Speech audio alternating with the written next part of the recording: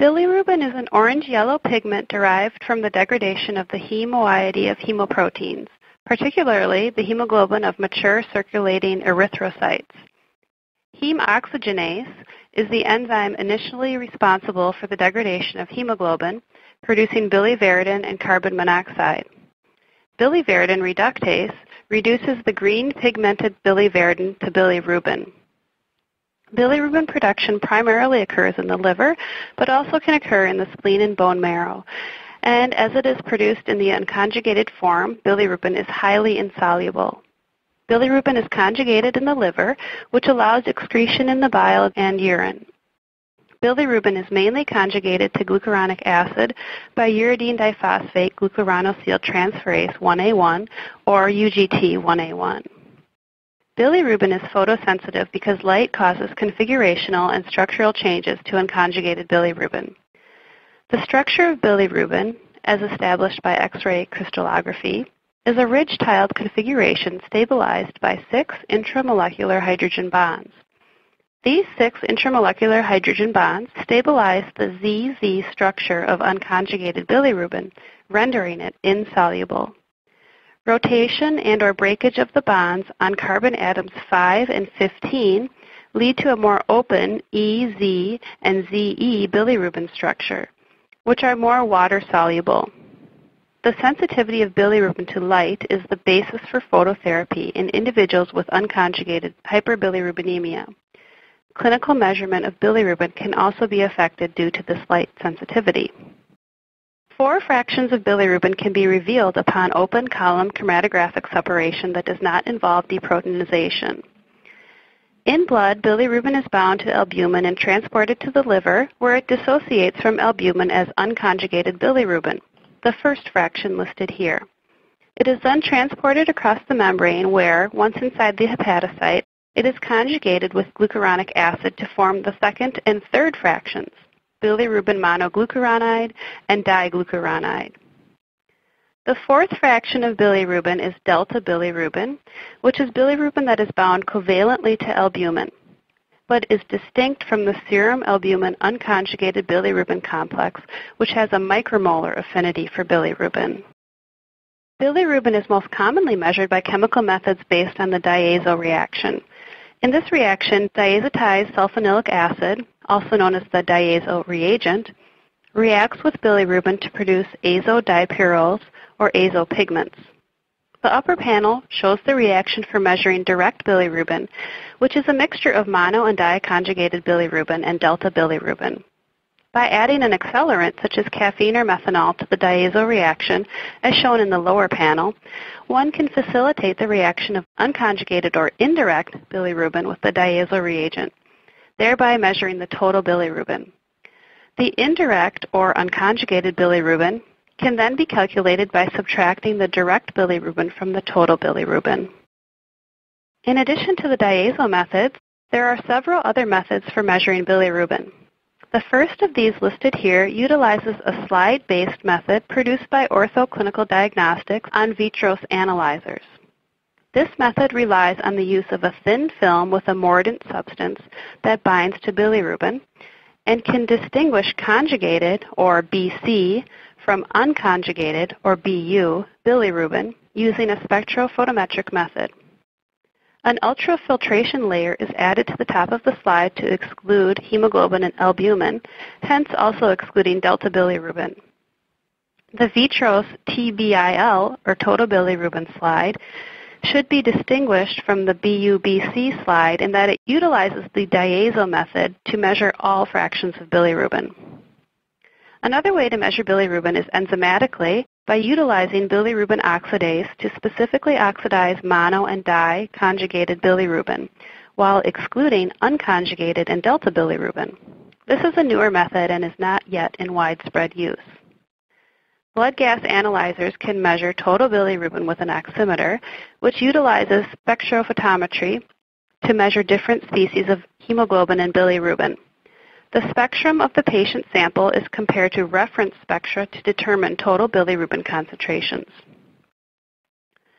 Transcutaneous bilirubin is a newer method that is non-invasive and is based on reflectance densitometry read at multiple wavelengths. Transcutaneous bilirubin measurement is accurate up to bilirubin levels at about 10 to 15 milligrams per deciliter. Hyperbilirubinemic disorders are characterized by a predomination of elevated unconjugated or conjugated bilirubin in the absence of other abnormal liver tests. Unconjugated hyperbilirubinemia poses a risk for development of acute bilirubin encephalopathy, or kernicterus, especially in infants with low birth weight. Conjugated hyperbilirubinemias usually indicate hepatobiliary disease, such as biliary obstruction. Diseases that reduce the rate of secretion of conjugated bilirubin into the bile or the flow of bile into the intestine produce mixed or predominantly conjugated hyperbilirubinemias due to the reflux of conjugates back into the plasma. Physiological jaundice of the newborn within a few days of birth is common, and about half of all neonates become clinically jaundiced during the first five days of life. Serum bilirubin is predominantly unconjugated and typically rises from 1 to 2 to 5 to 6 milligrams per deciliter within 72 hours and returns to normal in 7 to 10 days. Physiological jaundice of the newborn is usually a result of increased unconjugated bilirubin load due to multiple factors, including RBCs with shortened lifespans and bilirubin derived from ineffective erythropoiesis or non-RBC sources. It can also be due to decreased conjugation of bilirubin due to a relative lack of the UGT1A1 conjugating enzyme. This group of enzymes is mainly inactive at birth and must be induced, which takes a few days. Physiological jaundice of the newborn can also be caused by passive reabsorption of bilirubin in the intestine due to conversion of conjugated bilirubin to unconjugated by beta-glucuronidase in intestinal contents and inhibitors of conjugation that naturally occur in breast milk. Severe neonatal jaundice caused by elevated concentrations of unconjugated hyperbilirubinemia is considered pathophysiologic. The American Academy of Pediatrics recommends that the term acute bilirubin encephalopathy be used to describe the acute manifestations of bilirubin toxicity seen in the first days to weeks after birth and the term kernicterus be used for the chronic and permanent sequelae of bilirubin toxicity. Acute bilirubin encephalopathy is characterized by severe jaundice, lethargy, hypotonia, poor sucking reflexes, and vomiting. If not treated, the condition can progress to hypertonia, manifested by backward arching of the neck and trunk, fever, and high-pitched cry. The condition can further progress to apnea, coma, seizures, and even death. Infants whom survive may have a severe form of athetoid cerebral palsy, hearing loss, dental dysplasia, paralysis of upward gaze, and sometimes intellectual disabilities and other handicaps. The United States Kernicterus Registry identified the main epidemiological factors for pathophysiologic hyperbilirubinemia, and they include a high preponderance of breastfed infants, male gender, early hospital discharge, and late preterm infants.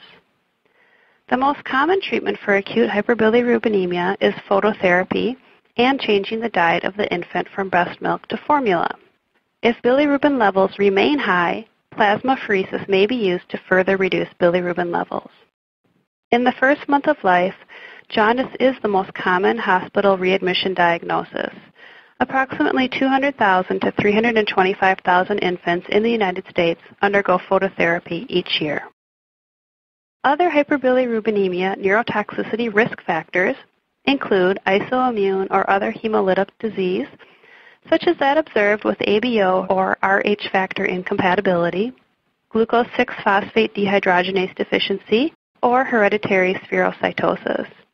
Additional risk factors include family history, especially a sibling with significant hyperbilirubinemia, cephalhematoma, or significant bruising indicative of bleeding, asphyxia, sepsis, acidosis, and hypoalbuminemia. Infants with hyperbilirubinemia most often have elevated levels of unconjugated bilirubin, but conjugated hyperbilirubinemia can also occur.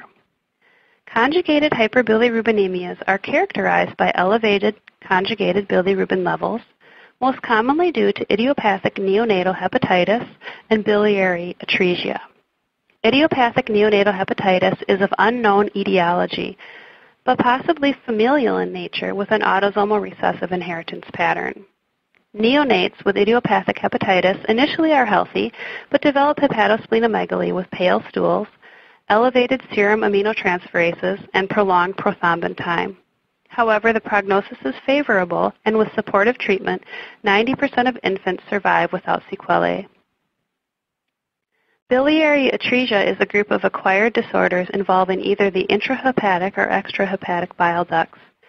In extrahepatic biliary atresia, which occurs in 1 in 10,000 births, the gallbladder is usually unable to be observed by imaging techniques that rely on transport of dye through the liver. Portoenterostomy, or the Kasai procedure, should be performed within 60 days after birth with liver transplantation as the second treatment of choice. Prognosis is generally poor unless the lesion is surgically correctable, Intrahepatic biliary atresia is characterized by a paucity of intrahepatic bile ducts. Survival into adolescence is common, although growth retardation generally occurs. Conjugated hyperbilirubinemia can also occur as a complication of parenteral nutrition and usually occurs in premature infants with parenteral associated cholestasis. Newborns can also have hyperbilirubinemia due to inherited disorders of bilirubin metabolism which include Gilbert syndrome, Crigler-Najjar syndrome types 1 and 2, Dubin-Johnson syndrome, and Rotor syndrome. Gilbert and Crigler-Najjar syndromes involve unconjugated hyperbilirubinemia, whereas Dubin-Johnson and Rotor syndromes are characterized by mixed or predominantly conjugated hyperbilirubinemia. Gilbert syndrome is characterized by mild chronic unconjugated hyperbilirubinemia. Serum bilirubin levels are generally less than 3 milligrams per deciliter and may fluctuate between 1.5 to 3 milligrams per deciliter. Bilirubin concentrations can increase with illness and fasting. Gilbert syndrome is autosomal recessive and can be caused by reduced expression of UGT1A1, commonly due to variation in the promoter region TATA box. Most individuals with Gilbert have seven copies of the TA repeat, whereas a minority of individuals have eight copies of the TA repeat. In Asia, Gilbert syndrome has sometimes been found to be caused by a common point mutation in exon 1 of the UGT1A1 gene, which is a missense mutation resulting in a substitution of arginine for glycine at residue 71, also known as the star 6 allele. Gilbert syndrome occurs at a frequency of about 3 to 7 percent in the United States and Europe. Individuals with Gilbert syndrome have hepatic UGT1A1 activity reduced to approximately 30% of normal. Gilbert syndrome is thought to be a relatively benign condition, with icterus commonly being the only presenting factor. No treatment is needed for Gilbert syndrome, but patients must take caution when taking certain medications that are metabolized by glucuronidation, such as acetaminophen, also, it should be noted that individuals with reduced UGT1A1 activity are at risk for severe neutropenia with the chemotherapeutic agent irinotecan. Crigler-Najjar syndrome is a group of genetic disorders that also presents with high unconjugated bilirubin levels, but the levels are higher than what is observed with Gilbert syndrome. Crigler-Najjar syndrome type 1 is due to a complete or near complete absence of UDP glucuronidyltransferase 1A1 or UGT1A1 and is manifested by very high levels of unconjugated bilirubin.